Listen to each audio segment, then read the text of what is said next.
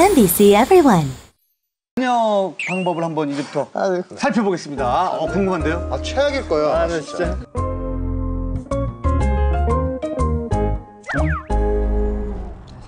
아, 아르바이트생이신 거죠? 사실 이런 알바생들 있으면 그 카페 가기도 싫죠. 파스타요. 네.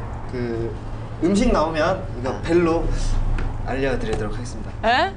진동을 휴대폰이 아 진동벨 대신에 와.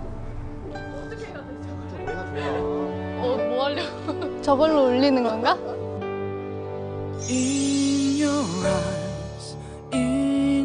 아 노래를 참 잘 잘 넣어 우리.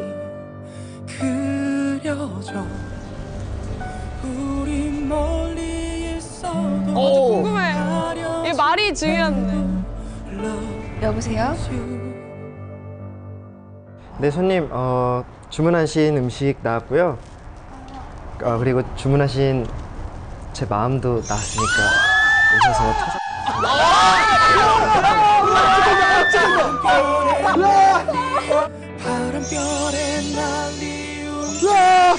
아 이거 귀엽다. 귀여워.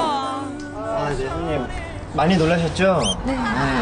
아 그리고 오늘부터 저희가 마일리지를 적립해 드리는데 아, 그 네. 번호를 적어 주시면 마일리지 저희가 적립해 드릴게요. 아, 무슨 마일리지야? 사랑의 마일리지.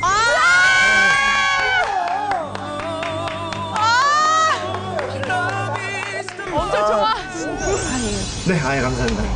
자, 오늘 저희가 그 10마일리지 적립해 드릴 거고요. 100마일리지가 되시면 저랑 사귀시는 아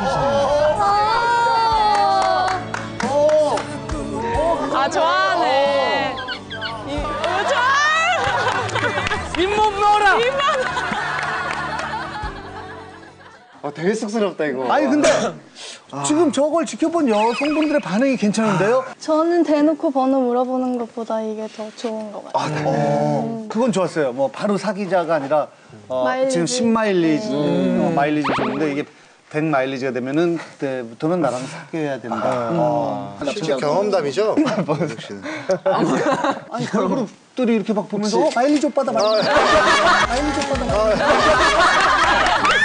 그래서 음악 방송에 진행하는 어떤 걸그룹이 우리 오빠 저 78마일이죠. 78마일이지. 서로 게임도 하나 나누고. 자기들끼리 막 싸우고 넌 벌써 90이야? 너무 벌써 90이. 나